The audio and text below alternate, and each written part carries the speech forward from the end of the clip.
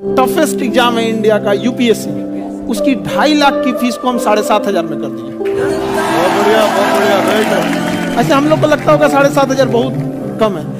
एक लड़की ने कहा कि सर शाम वाले बैच को ना मॉर्निंग में कर दीजिए। हम कहे बाबू तो इतना सबके इंडिविजुअल से तो बैच ट्रांसफ़र नहीं क्या प्रॉब्लम है उसने कहा ना शाम में हमको दूसरे के यहाँ बर्तन मांजने जाना होता है। एक लड़का बेचारा नदी से बालू निकालता था और वो बालू को भरता था। फिर नाव बालू को किनारे लेके बेचती थी। और वो बालू भरता था उससे मेरी फ़ीस ले आया। हमारा हाथ काँप गया हम कैसे फ़ीस ले लेंगे?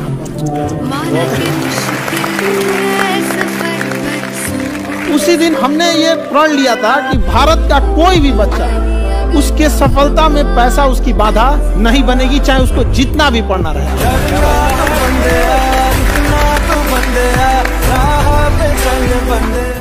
ऐसे गुरुओं को मैं करता हूँ नमन, ऐसे गुरुओं को मैं करता हूँ नमन, जिनकी बातें सुन के खिल जाते हैं उजड़े चमन। ऐसे गुरुओं को मैं करता हूँ नमन, जिनकी बातें सुन के धन्य हो जाता है मेरा मन। किसी न किसी से होता हर कोई इंस्पायर मैं भी हुआ